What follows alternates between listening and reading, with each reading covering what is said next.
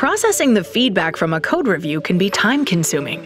GitLab Duo with Amazon Q is a seamless integration that accelerates application development with advanced agentic AI capabilities within your GitLab workflow, streamlining your code review process by making code changes based on feedback.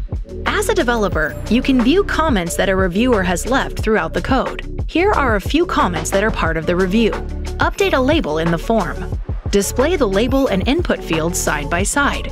Make labels bold. Make the button background color blue.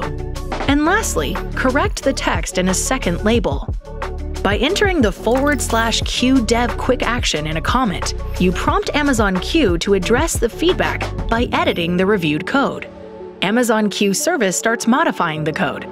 The updated code can be viewed in the Changes tab of the merge request. You can run the updated application and confirm that the code updates correspond to the feedback in the code review. With an agentic AI strategy, GitLab Duo and Amazon Q automatically implements code changes, streamlining code review processes and cutting down deployment times, so you can develop software faster.